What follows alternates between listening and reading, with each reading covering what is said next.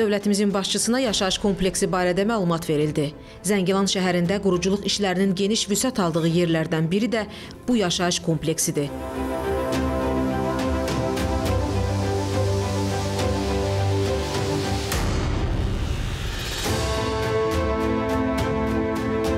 Kompleksin təməli 2022-ci il oktyabrın 19-da Prezident İlham Əliyevin və birinci xanım Mehriban Əliyevanın iştirakı ilə qoyulub. Bildirildi ki, 12 binadan ibarət yaşayış kompleksində ümumilikdə 104 mənzil inşa olunub. Yaşayış məhəlləsi şəhərin mərkəzi hissəsində, məktəb, uşaq bağçası və şəhər parkının yaxınlığında orta sıxlıqlı və çoxfunksiyalı zonada yerləşir.